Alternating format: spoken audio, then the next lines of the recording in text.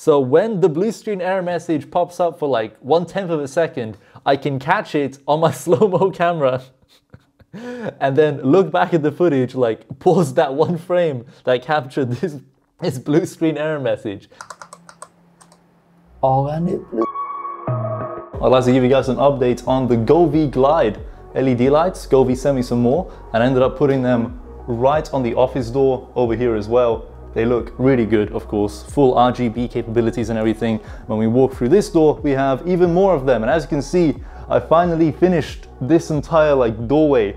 So you can indeed add one more and there's no problems. But I will make a dedicated review video about these lights where I actually measure each individual part, test the maximum length that these can even support. But at the moment, this is how they're looking like on either side of the door basically. But today's video is not about those LED lights, it's about this PC build. And uh, me finally, possibly maybe, you know, I don't want to talk too soon, you know, knock on wood, fixed the blue screens, all right? We might have actually fixed them. Oh, oh, it's bugged out. It's bugged out, dude. My mouse, I can't click, bro. Are you kidding me? Dude, are you kidding me? Where's, my game gone, man? Where's my taskbar gone? My taskbar is gone. It's disappeared. I can't do anything. Oh, and it blue screened, and it's the same one. Locate the driver that is causing the problem, mate. You're funny. Let me give you some backstory of what actually even led me to figure out what was causing this blue screen of death over and over again to hopefully help you or anyone you know that might be experiencing a similar thing where your PC just blue screens and you Google the problem and the error message, all of the results don't help, none of the solutions help, because I was convinced, I'm like, I'd probably ran some software or like some installation somewhere maybe went wrong on Windows 11. It's Windows 11 that initially had the blue screens of death hence leading me to think, all right, it's probably Windows 11, right? I maybe installed some incompatible software, which I did have a bunch of like tweaks that I had done to the OS, and I thought, all right, maybe one of them just isn't compatible. So I ended up reinstalling Windows 11. I think like that same day when the, when the blue screens just started getting really bad. Then I basically tried to do like a cleaner version of Windows 11, as little apps as possible installed. Then I installed like a couple games that I was trying to record a video for, and the blue screens immediately came back. Uh, initially, just when I'd launch a game and I'd be in the game for like 30 seconds, boom, blue screen.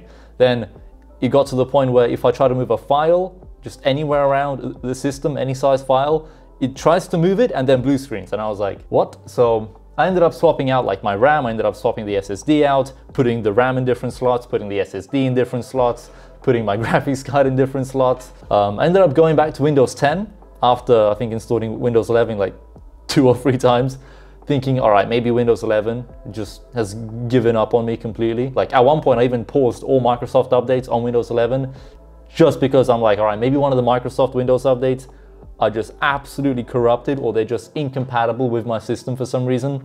So I paused all of the updates on one Windows 11 installation and just stayed on like what came with the like ISO that I installed. Didn't help whatsoever, still blue screened. So I went back to Windows 10. That time, because I kind of knew, I'm like, all right, something is going on. I didn't put any of my sensitive files back on that SSD, expecting that, yo, I'm gonna probably have to reset Windows by the end of today. This cannot be a software problem. I've installed Windows like three or four times now. Surely it's something hardware related, all right? I don't believe that Windows could corrupt itself or some installation or some service could have a problem three or four times in a row on like a fresh OS install. The first thought that actually came to my mind to uh, replace a part was not this, but my GPU power cables, because I still kind of thought, I'm like, maybe it's like a graphics card problem or something. Hence why I was kind of moving the graphics card in different uh, PCIe slots on the motherboard. Instead of changing out the power cables for my graphics card, uh, which are just extension cables that are sleeved, instead I thought, let me swap out this RGB Lian Li cable that's like for your 24 pin motherboard power. This is the first part I properly swapped out for something else. I just swapped it out for a different sleeved 24 pin extension cable for my motherboard. Not as fancy as this RGB one, of course, which is an actually like beautiful product. The way the RGB effects work on this thing, very impressive. Lian Li did an incredible job with this piece of tech right here. It's uh, very nice to look at indeed. Very advanced LED lighting effects. Uh, one thing I should note is that I did try to connect this to my Razer ARGB hub that's inside of the PC. And this is the one device that would not work with the three pin 5 volt ARGB header. When plugged into the Razer ARGB hub, that's like a separate hub to control RGB devices. Like everything else is plugged into the Razer hub, no problems.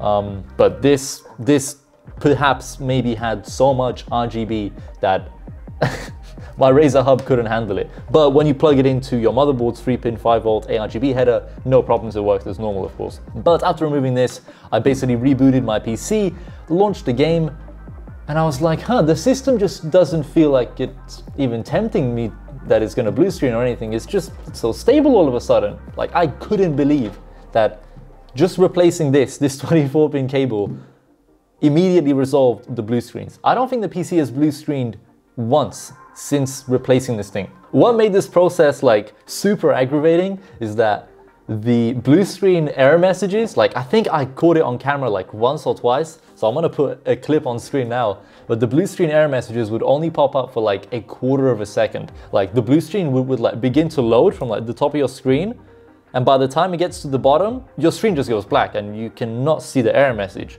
Like it would load the blue screen and for like one tenth of a second, you could catch a glimpse of what the error message was when your PC blue screened. And that was driving me insane. I had to pull my phone out and when I think it's about to blue screen, I start recording my screen in like slow motion camera view.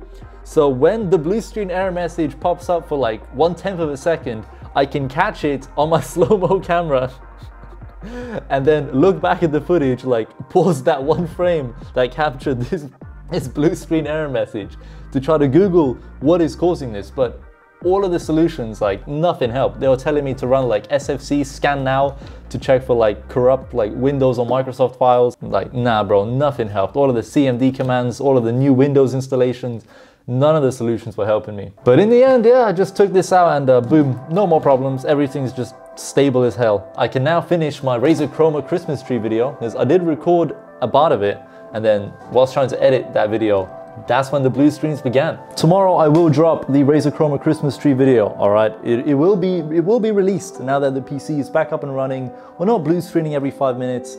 I'll finally make that Razer Chroma Christmas tree video, man. But if I don't see you again, Happy New Year.